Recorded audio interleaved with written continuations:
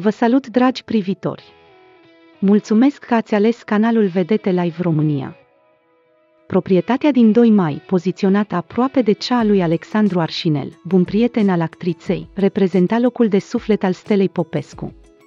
Departe de agitația din București, mare artistă se putea bucura de liniște și aer curat, casa, vopsită în albastrul mării, a fost achiziționată în anul 1989 și ar fi costat 2000 de dolari, iar valoarea sa se ridică, în prezent, la aproximativ 200 de mii de euro. Casa de pe litoral a artistei a fost renovată, iar în contextul în care Doina Maximilian a vândut o parte din lucrurile Stelei Popescu, nu atât de importante, cei drept, precum obiecte de mobilier sau decor. A apărut întrebarea dacă, nu cumva, va scoate la vânzare vila din 2 mai. Fica adoptivă a artistei a dezvăluit că nici nu se pune problema să vândă casa din 2 mai, pe care a moștenit-o de la Stella Popescu.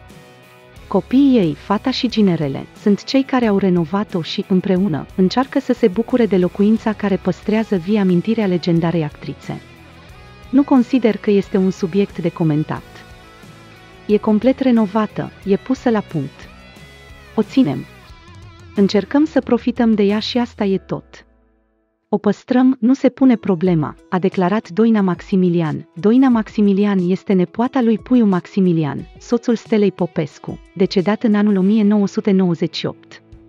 Actrița a luat-o sub aripa sa încă de când avea doar 16 ani, astfel că, deși nu este fiica sa biologică, Marea Doamnă a teatrului românesc spunea cu mândrie că toată viața a avut copil.